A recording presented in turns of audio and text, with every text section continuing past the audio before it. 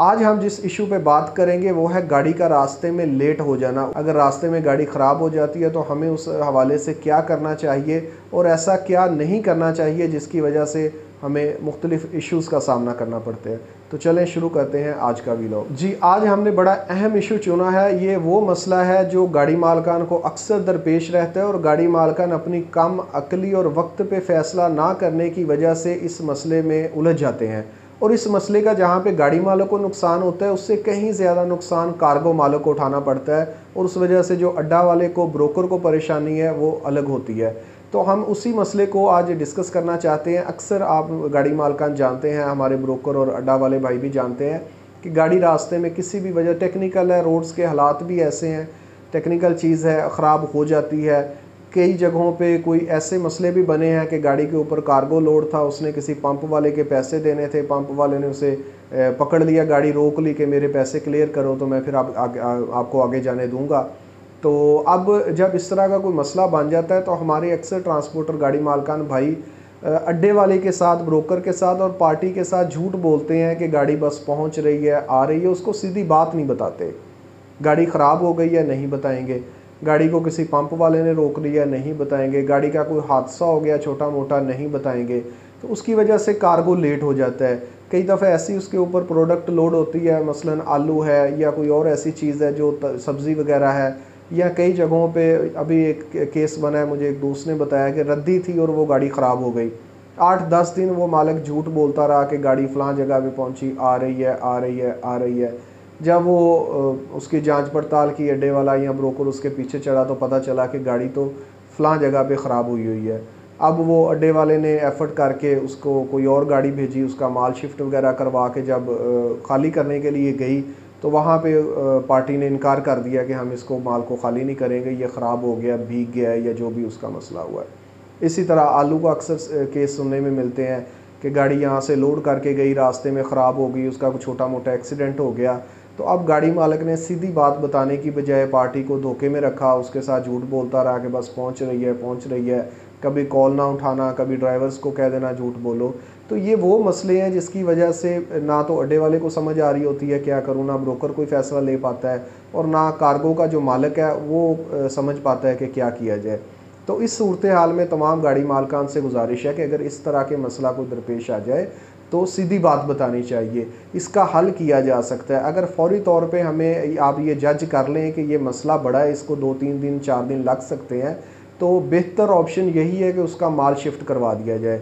ये लालच ना किया जाए वक्ती कि अगर मैं माल शिफ्ट करवाऊँगा तो मुझे नुकसान उठाना पड़ेगा, किराए का मसला बनेगा, मैं गाड़ी को कहाँ से किराया दूँगा जो आगे जा रही है, या मेरा जो पिछला यहाँ तक लाने का किराया था वो मर जाएगा, क्योंकि ये छोटा नुकसान है।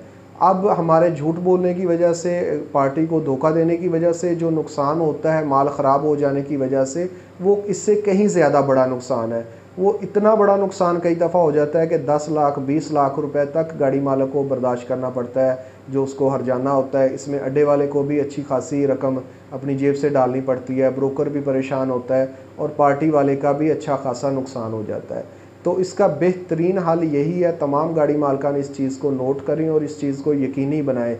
झूठ बोलना या किसी बात को छुपाना किसी मसले का हल नहीं होता। अगर साफ़ बात की जाए, अगर तो आप समझते हैं कि दो चार घंटे में आपकी गाड़ी ठीक हो के माल उतार देगी तो ठीक है, कोई बात नहीं। लेकिन अगर आप ये देख रहे हैं कि इंजन का मसला बन गया है, गेयर का कोई इशू हो गया है, या खुदा ना खास्ता उसका एक्सीडेंट हो गया जिसको अब गाड़ी रिपेयर होने में दो चार दिन लग जाएँगे तो इस सूरत हाल में पार्टी को सीधी बात बताएँ कि ये मेरा मसला बन गया है, या किसी पंप वाले ने गाड़ी रोक ली है उसके साथ मामला तय नहीं हो रहे तो इसका बेहतरीन हाल यही है कि आप माल शिफ्ट करवा दें। माल अपनी किसी दूसरी गाड़ी के ऊपर भेज दें, किसी दोस्त से रिक्वेस्ट कर लें कि वो आपको गाड़ी फ्राहम कर दे और उसका माल शिफ्ट करवा के वक्त, बर वक्त वो डिलीवरी उसको, उसकी यकीनी बनाए, या अड्डे वाले को कह दें कि जनाब, आप कोई और गाड़ी हायर कर ले। मेरा ये रास्ते में मसला बन गया, मैं इसको हल करने की कोशिश कर रहा हूँ। लेकिन मुझे लगता है कि ये दो चार दिन लग जाएँगे लिहाजा बेहतर यही है कि आप अपना माल शिफ्ट करवा के किसी और गाड़ी के ऊपर भेज दें। मैं अब इसको बर वक्त डिलीवर नहीं कर पाऊँगा। तो जब ये साफ़ गोई का मुजाहरा करेंगे तो नुकसान तो इसमें भी आपको थोड़ा बहुत उठाना पड़ेगा। लेकिन वो बड़ा मामूली और थोड़ा नुकसान होगा। उस नुकसान की बनस्बत जो हम झूठ बोल के करते हैं, अपना भी नुकसान करते हैं और पार्टी का भी नुकसान करते हैं। और इसके बाद फिर हम मज़लूम भी बन जाते हैं कि हम, हमें, हमारे साथ ज़्यादती हो गई, अड्डे वाले ने कर दी, या ब्रोकर ने कर दी।